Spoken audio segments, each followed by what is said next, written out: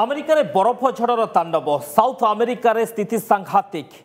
Christmas ନୂଆବର୍ଷ ପୂର୍ବରୁ ବରଫ ତଳେ ଅଣନିଶ୍ୱାସୀ ହୋଇଛି ଆମେରିକା ପ୍ରାୟ ସାଢ଼େ ପାଞ୍ଚ କୋଟି ଲୋକ ଭୀଷଣ ତୁଷାରପାତ ଯୋଗୁଁ ପ୍ରଭାବିତ ହୋଇଛନ୍ତି ଆର୍କିଟେକ୍ଟ ଡିପ୍ ଡିପ୍ ଫ୍ରିଜ୍ ଯୋଗୁଁ ସୃଷ୍ଟି ହୋଇଥିବା ବରଫ ଝଡ଼ରେ ଏବେ ସୁଦ୍ଧା ପ୍ରାୟ ଏକଷଠି ଜଣଙ୍କର ମୃତ୍ୟୁ ହୋଇଛି ମୃତକଙ୍କ ମଧ୍ୟରେ ତିନି ଜଣ ଭାରତୀୟ ଆମେରିକୀୟ ଥିବା ସୂଚନା ରହିଛି ତେବେ ବିଗୁଡ଼ୁଥିବା ପାଣିପାଗକୁ ଦୃଷ୍ଟିରେ ରଖି ପୁରା ଆମେରିକାରେ ସତୁରି ପ୍ରତିଶତ ତଥା ଅଡ଼ତିରିଶ ଶହରୁ ଉର୍ଦ୍ଧ୍ୱ ବିମାନ ବାତିଲ କରାଯାଇଛି ଅତ୍ୟଧିକ ପ୍ରଭାବିତ ଅଞ୍ଚଳରେ ଡ୍ରାଇଭିଂ ବ୍ୟାନ୍ କରାଯାଇଛି ଆମେରିକାର ଟେନେସିରେ ଏକ ଝରଣାର ପାଣି ପ୍ରାୟ ନବେ ପ୍ରତିଶତ ବରଫ ପାଲଟି ଯାଇଥିବା ଚିତ୍ର ସାମ୍ନାକୁ ଆସିଛି ତେବେ ଆଉ ମଧ୍ୟ ଆଉ କେତେକ ୱାଟରଫଲ୍ ମଧ୍ୟ ବରଫ ପଲଟି ଯାଇଥିବାର ଭିଡ଼ିଓ ମଧ୍ୟ ସୋସିଆଲ ମିଡ଼ିଆରେ ଦେଖିବାକୁ ମିଳୁଛି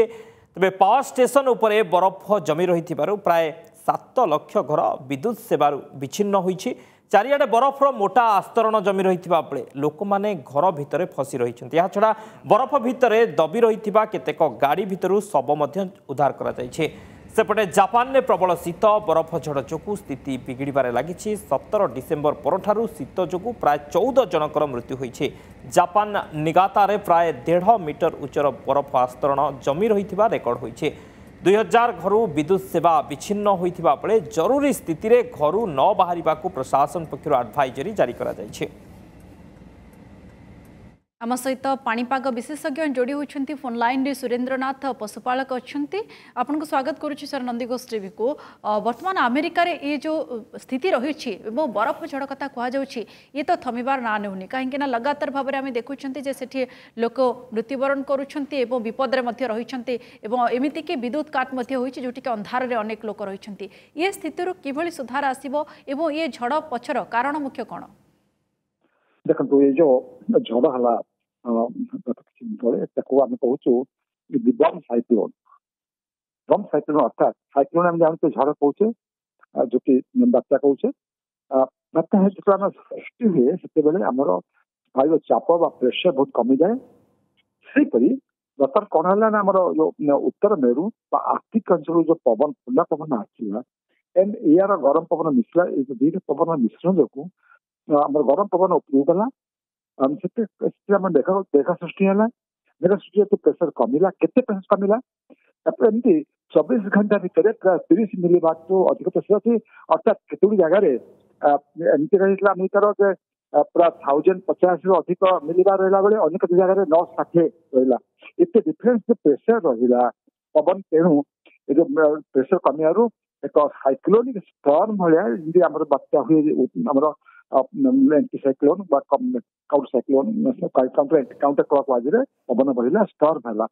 ଥଣ୍ଡା ଏକ ଟେମ୍ପରେଚର କମିଗଲା କିନ୍ତୁ ତମ ଯେମିତିକି ପ୍ରେସର କମିଲା ପ୍ରାୟ ଚବିଶ ଘଣ୍ଟା ଭିତରେ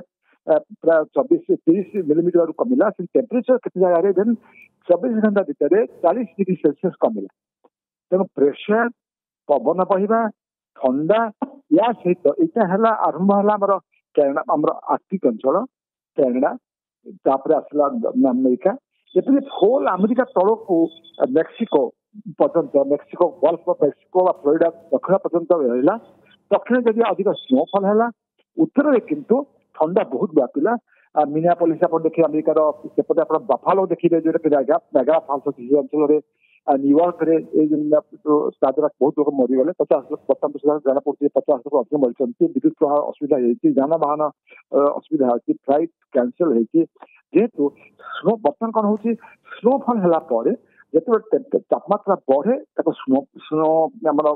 ତଳେ ଯାଏ କିନ୍ତୁ ବର୍ତ୍ତମାନ ତାପମାତ୍ରା କମ୍ ରହୁଛି ଯଦି ତାପମାତ୍ରା କମ୍ ରହୁଛି ତେଣୁ ସ୍ନୋ ଏତେ ଅଧିକ ରହୁଛି ସେଟା ମେଲ୍ଟ ହେଇପାରୁନାହିଁ ନିମଳତାପମାତ୍ରା କମ୍ ରହୁଛି ନିଶ୍ଚିତ ଭାବରେ ଏବଂ ଯାହା ସ୍ଥିତି ବର୍ତ୍ତମାନ ରହିଛି ଆମେରିକାରେ ତାହା